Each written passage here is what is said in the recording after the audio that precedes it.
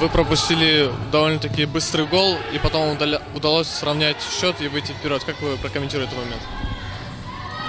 Я не знаю, мы, наверное, вышли на матч с каким-то расхлябанным состоянием. Я не знаю, а, мы, наверное, не, не особо настраивались на соперника.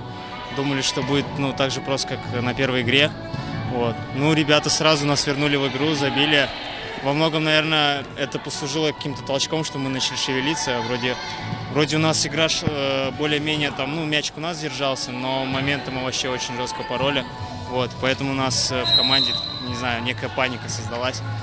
Но итоговый счет вроде, не знаю, на табло. Было очень много попаданий в штангу, перекладину. Как вы прокомментируете момент? Невезение с вашей стороны или все-таки удача со стороны команды границ? Я думаю, все-таки не везение с нашей стороны, потому что мы не забили очень много. А в первой игре эта команда пропустила очень много мячей от э, другой команды. Вот, поэтому я думаю, все-таки наше невезение.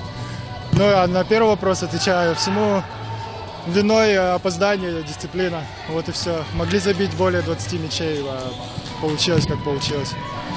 Как вы оцениваете свои шансы на выход из группы? Ну, мы, так наверное, мы же уже вышли из группы. Ну, наверное, Да, уже, вот да. так вот. Ну, там уже на 70-80%. Вот, но, конечно, решающий матч будет с китами. Вот. Мы Кита, хотели привет. сегодня сделать разницу, чтобы при ничейном результате нам выходить с первого места. Но теперь нас э, будет устраивать только победа. Вот, поэтому с китами, надеюсь, мы уже получше настроимся и покажем свою лучшую игру.